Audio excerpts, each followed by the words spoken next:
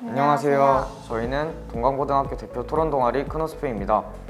저희의 주요 활동은 자체 토론 대회 실시, 본인의 진로와 연관된 개인 칼럼 작성, 그리고 1분 스피치, 그리고 연간 활동 자료집 제작 등이 있습니다.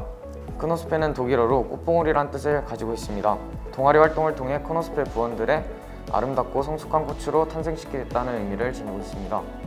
크노스페 동아리는 3대3 토론에 맞춰 1학년 9명, 2학년 9명, 총 18명으로 있습니다.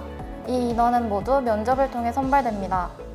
크노스페 동아리 활동을 통해 부원들은 비판적 사고력과 논리적 사고력을 기르며 자신의 가치관에 상대팀의 가치관을 더하며 상대팀을 반드시 이겨야 된다는 생각보다는 상대 측 의견을 존중하고 우리 팀과의 협동심이 중요하다는 점을 깨닫게 해주는 토론 동아리입니다. 크노스페 동아리는 다양한 발표 기회를 제공합니다. 이 활동을 촬영하며 개인은 부족한 부분을 개선할 수 있습니다.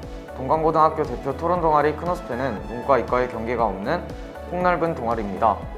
토론에 조금이라도 관심이 있는 학생들은 많은 관심 부탁드립니다. 토론을 좋아하는 친구들을 기다리고 있을게요.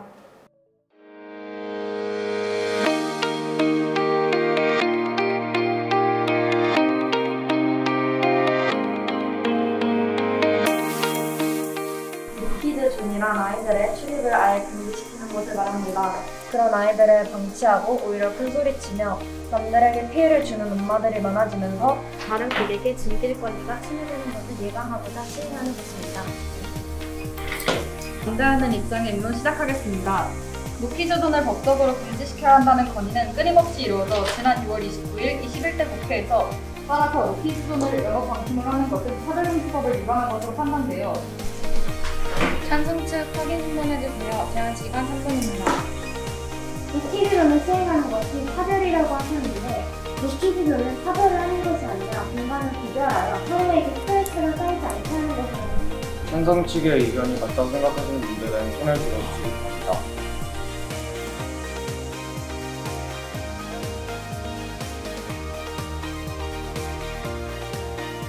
토론 결과 직원들의 찬성 5표, 반대 45,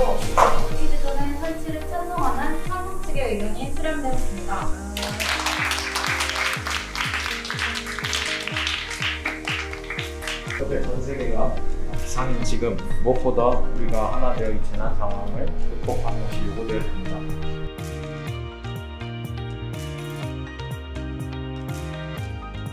2013년 3대 심각성을 인지하지 못합니다. 코로나 종식의 실현 목표를 저해하며 극단적 이기를 중심에 발휘하여 코로나 종식을 모두 각자의 자리에서 최선을 다했으면 하는 바람입니다. 감사합니다.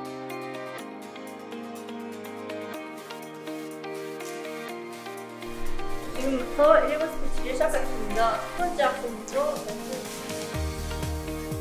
안녕하세요. 저는 동광고등학교의 토론 동아리 소속 김주입니다. 저는 저희 학교의 동광고에 대해 소개하려 합니다. 어, 일단 저희 학교에는 하늘공원이 있는데요. 정말 아름답고요. 남녀 하는 저희 큰 특징입니다. 다음으로 마